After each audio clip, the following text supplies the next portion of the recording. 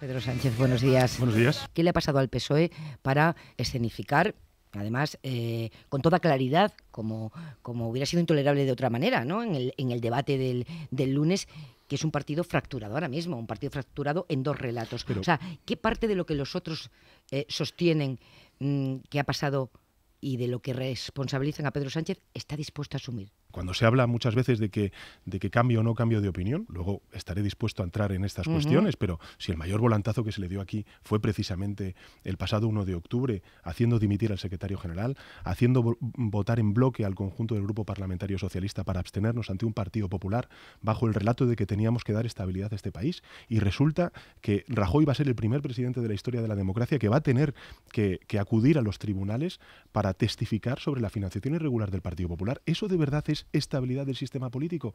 Yo discrepo. Y los militantes que voten a Pachi López y a Susana Díaz, si usted gana, también se tienen que reconocer. Así es. Todos los presidentes autonómicos eh, socialistas que están gobernando ahora mismo, menos eh, Francina Armengol, que le apoya a usted, están con Susana Díaz. Eh, ¿Tienen que temer que a partir del domingo, si ganara usted, va a haber movimientos desestabilizadores en sus eh, federaciones? No, Usted no lo va a estimular. no. ¿Qué va a cambiar?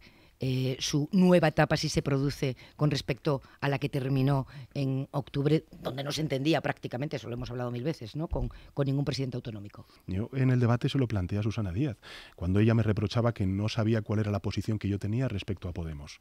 Eh, yo tengo la misma posición que tiene ella.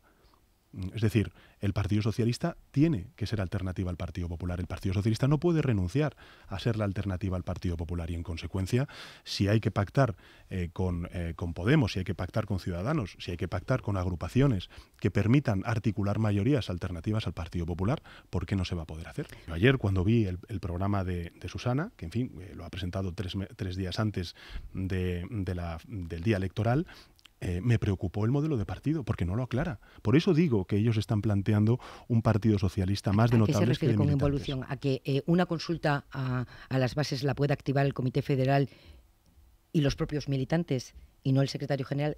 Eso es lo que parece que están proponiendo. Pero Eso es una ver, involución. pero- Es- no, esto que le planteo es una Pero involución. vamos a ver, es que desconoce lo que está diciendo, eh, lo siento mucho por Susana Mm. o quien le haya redactado esto, pero lo desconoce. Quien plantea un referéndum, una consulta, es una ejecutiva federal, que es un órgano colegiado.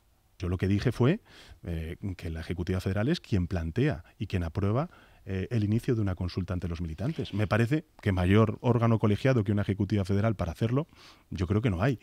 Cuestión distinta, Mm. cuestión distinta es que se quiera plantear y diluir esa responsabilidad, en todo caso, para prohibir las consultas. Usted presentará una moción de censura, me la han planteado tanto Fernando Garea como Javier González Ferrari. Están eh, interesados en saber si no apoya Mm. esta, presentará una.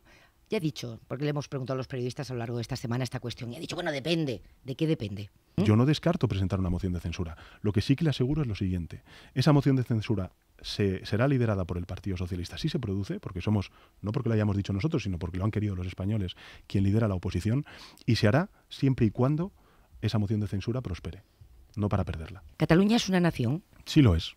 Y, y además... sin apellido, no nación cultural. Pero es, es que, pero Pepa, sí es que yo creo que en esta cuestión... Digo porque han modificado eso en el nosotros no, documento. no, no, no, no lo hemos ¿No? modificado, de ¿No? verdad. No, no, el, ¿No han si es- añadido cultural? No, hemos, hemos, hemos mantenido eh, nuestra convicción de que la, el- la Constitución española tiene que perfeccionar el carácter plurinacional de España.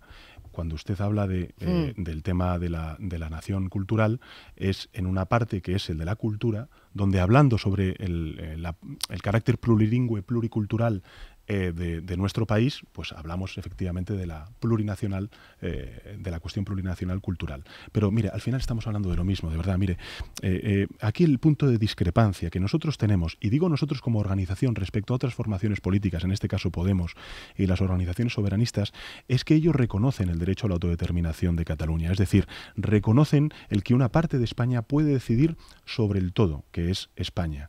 Y, nosotros estamos diciendo que no, nosotros estamos diciendo que hay una única soberanía, que es la del conjunto de la sociedad española, que hay un único Estado, que es el Estado español, pero que ese Estado puede reconocer perfectamente el que España es una nación de naciones y que España es una realidad plurinacional. Por tanto, no estamos, no estamos cuestionando los dos elementos esenciales del artículo 2 de la Constitución, que es la soberanía y el carácter, eh, digamos, unitario del Estado. Lo que estamos diciendo es que para resolver eh, la grave crisis que se está viviendo en Cataluña, también podemos reforzar una cuestión que está pendiente y que tiene que ver con la identidad y la singularidad de una sociedad como es la catalana o también la vasca. Eso que dicen todos los eh, dirigentes socialistas que no están con usted y que hemos escuchado a las nueve de la mañana, de que usted es voluble, que está dispuesto a, modificar matices, pero muy importantes en su discurso. ¿Pero cuáles? En función del... usted no se reconoce en ese, en ese dibujo que hacen de usted. Pero por supuesto que no, pero veréis, si es que yo, yo estoy en paro. Yo, yo, yo, renuncié al acta de, diputado, yo renuncié a ser secretario general del Partido Socialista por mantener la coherencia y la palabra dada con los votantes y para mantener también eh, el respeto a una decisión que no compartía, pero que tomó el Comité Federal. Por tanto, ¿de qué me están hablando de coherencia o de credibilidad?